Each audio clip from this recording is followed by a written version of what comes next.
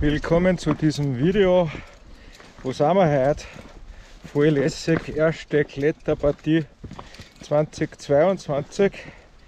Max ist dabei, Anne ist dabei und wir sind im Salzkammergut. Es wird spektakulös.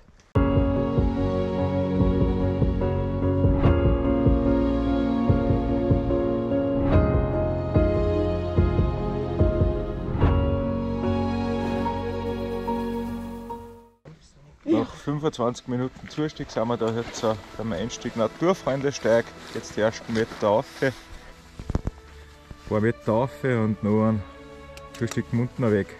Wasser und steile Felswände. Diese Kombination ist immer etwas Besonderes. Und so verwundert es kaum, dass der Traunstein Südwestgrad zu den großen Klassikern in Oberösterreich gehört. Wir gelangen vom Parkplatz entlang der Forststraße in Richtung Süden durch zwei Tunnels bis zum Einstieg des Naturfreundesteigs. Den Steig geht es nun etwas aufwärts. Nach dem ersten gesicherten Seilstück gelangt man dann auf eine Graspassage mit ein paar Bäumen. Von dort nehmen wir den ersten Pfad nach links. Wir überqueren ein Schuttfeld und am linken Rand des Schuttfelds befindet sich bereits der Einstieg des Gmundner Wegs. Schau, wir sind da jetzt im Einstieg, gell? Gmundner Weg. Jetzt probieren wir das einmal zu dritt. Gut. Oft bis gleich. Die Stelle da, die ist jetzt nicht so schwer. Äh, die Sicherung müsst ihr mitnehmen. Und am einfachsten ist, da ist eh so eine schöne Kanten, so eine Leisten, da aufsteigen, nach links raus. Da herum ist ein schöner Griff.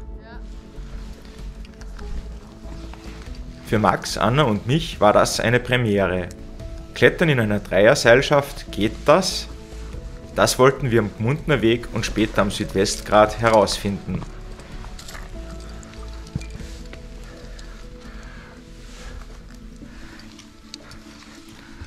Anna erklärte sich bereit, die Position der mittleren Kletterin zu übernehmen.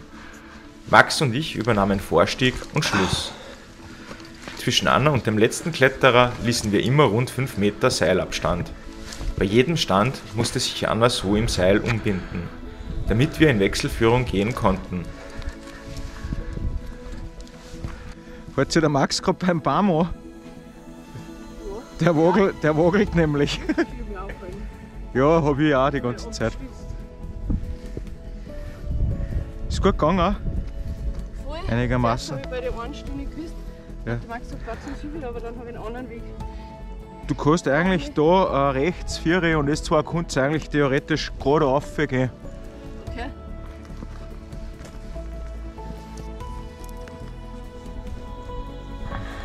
Aber dann wartest du, bis dass der Max da ist. Du, da gehst du da. Ja, weil der Max müsste nachher vor dir gehen, weil ich sicher denke von da und dann geht dieses Seil auf aus. Okay, dann warten wir? Perfekt, ja.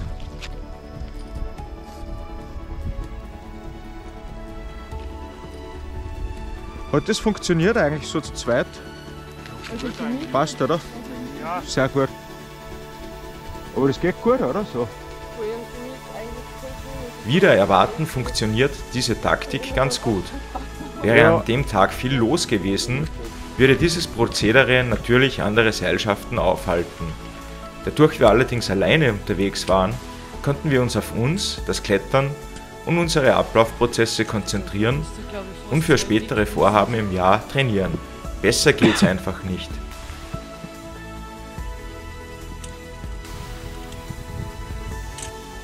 Die Tour ist genial. Man klettert immer sehr luftig und ausgesetzt entlang des Grates aufwärts. Die Kletterei ist aber nie besonders schwer.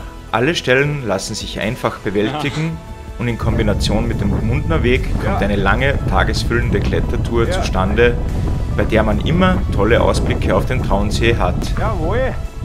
Und schwuppdiwupp waren die ersten vier Seillängen des Gmundner Wegs auch schon vorbei. Also, Und es ging nun zum Einstieg, ab dem es richtig ernst wurde.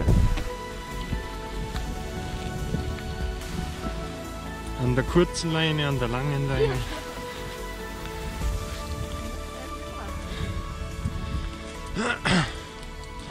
So, Masken fällt heute noch nicht. für die SM.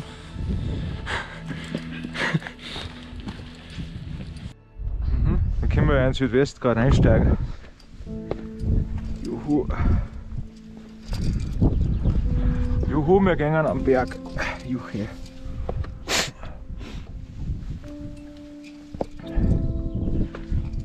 Boah, der ist auch schon locker. Noch rechts oben ist drin. Ein Riss ich sage danke. Dankeschön.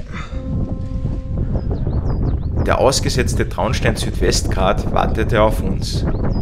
Für mich war das Seilschaftstraining im Gmundner Weg spätestens hier beim Einstieg auch sehr erleichternd, da ich nun wusste, dass ich nicht die gesamte Route vorsteigen musste.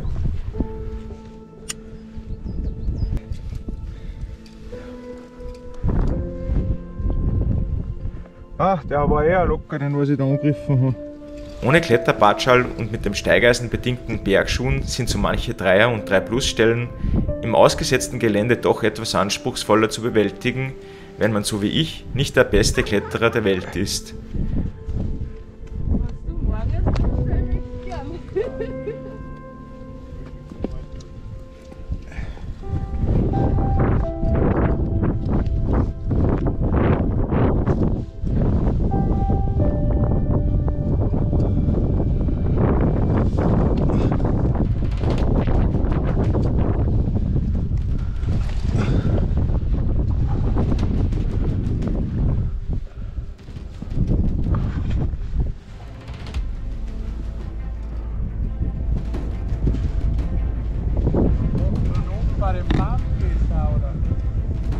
Was hat der beim Baum da?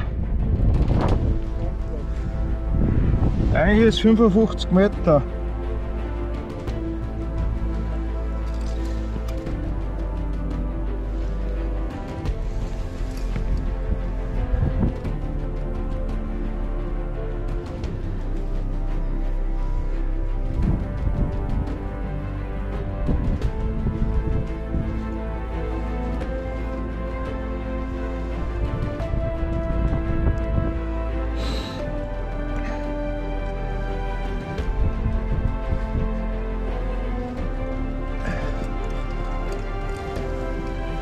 Somit hieß es für mich, eine Seillänge vorsteigen, Max und Anna nachsichern und nachholen, Anna umbinden, dann Max im Vorstieg sichern und dann neben der ausgesetzten Genusskraxelei im Nachstieg auch noch das Knackarschal von meinem Liebling im Blickfeld zu haben.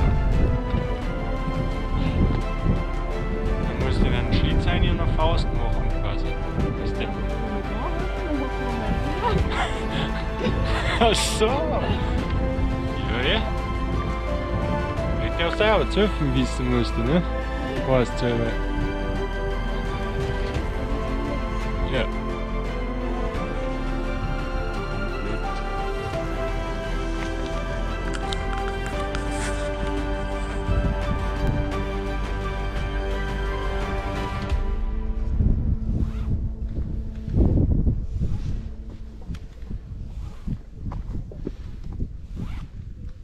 Einstieg.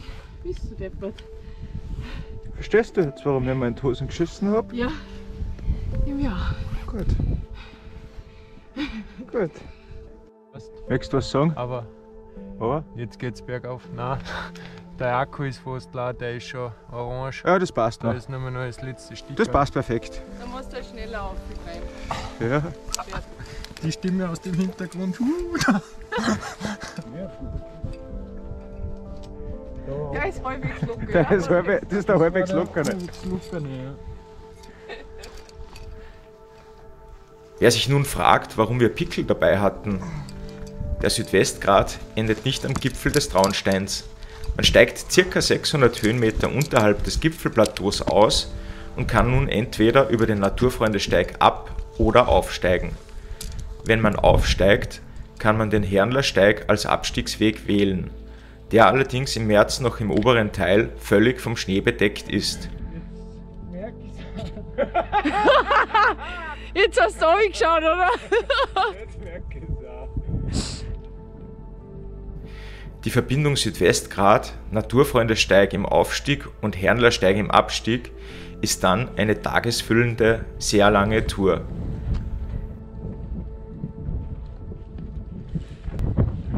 Ja, wir sind nicht so chillig, glaube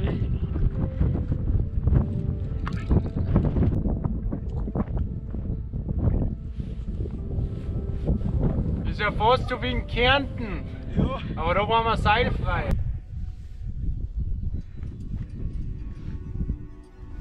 Am ausgesetzten Grad. Am Arschbreiten. Musst aber nicht ganz oben drüber. Gescheiter ist, wenn du da auf der Seite, da sind so kleine Leisten, und die hernimmst. Das ist der leichte Spalt dann, oder? Ja, da geht es ziemlich ausgesetzt, aber. Weil da auf kann man jetzt gut fahren. Ja, mir auch. Und dann bin ich nochmal. Ich muss jetzt einmal Ja, schauen. geh einmal weiter. Genau. Ich meine, ich hab die eh keine nichts fein.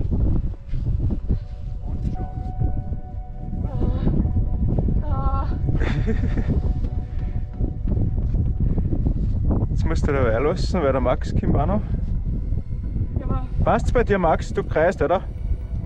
Kann ich auch noch weiter, oder? Passt, ja. Kannst kommen.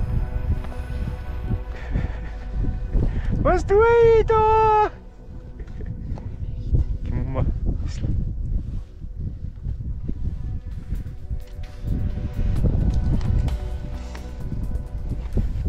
Ja, Der Max gerade überhaupt da auf der Seite. Ne? ja, Kannst du ihm? Oder gib Ja. mir mal sein, sein Seil. Nochmal drüber steigen. Was, kannst du schon auslassen, das Seil, Max? Oder, also, das ist eh alles. Passt.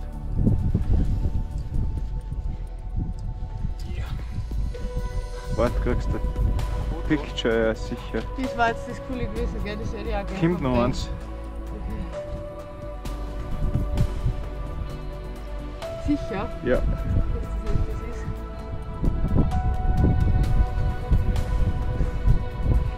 Nein, da kommt noch so ein Stück.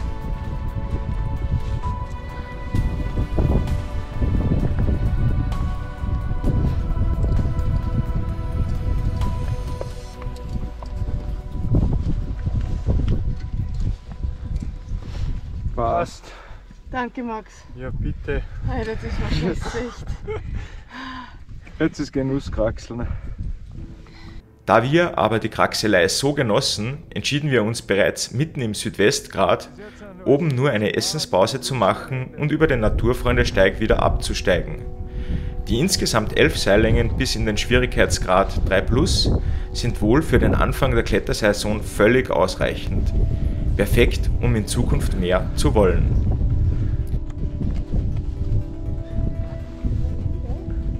Passt.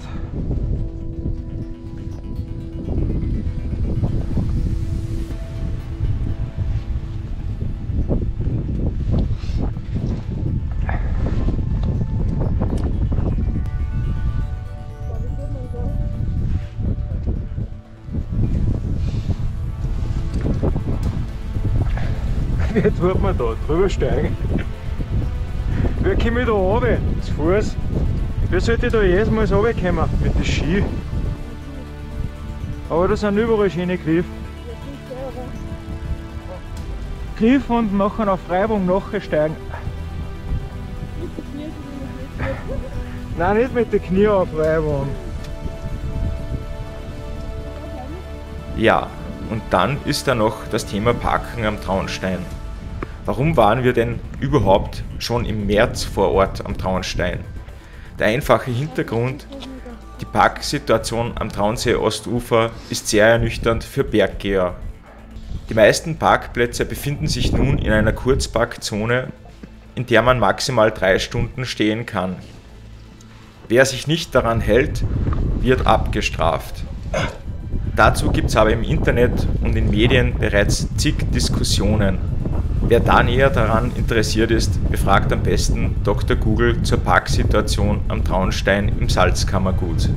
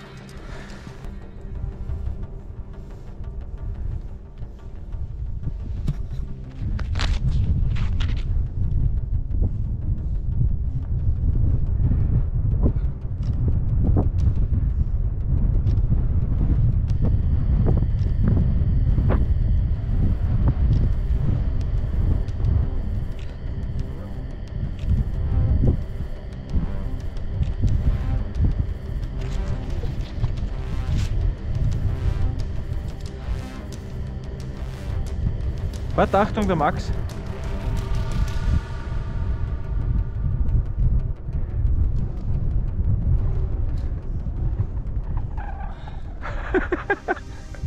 Nur. Ich hab's eh fotografiert die ganze Zeit. Das haben sie früher noch nicht gesagt. In der Schule, wenn man fragt, darf ich aufs Fluge? Nein, äh, kann ich aufs Fluge? Darf ich das schon? Ob du das kannst, ist die andere Frage.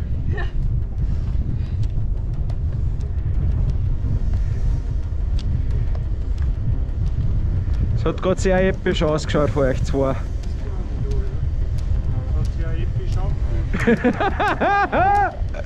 Ich glaube, ich hätte mir sowas vor in die Hose geschissen und ich hätte es nicht einmal können. So geil.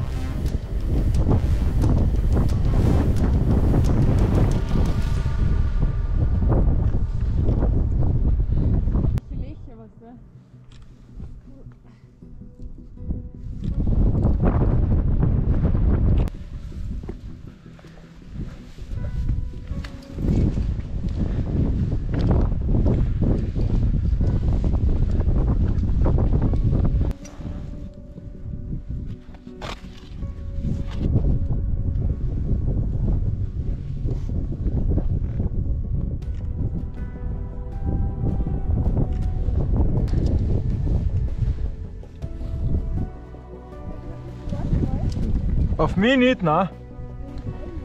Nein, das ist ja noch nicht einmal ganz gespannt.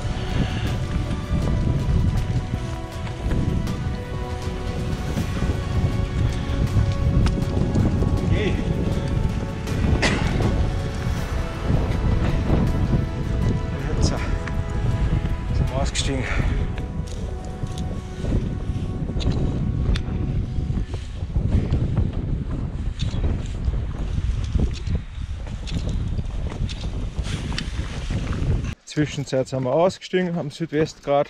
Ein paar Mal ein bisschen Arsch zusammenzwicken müssen.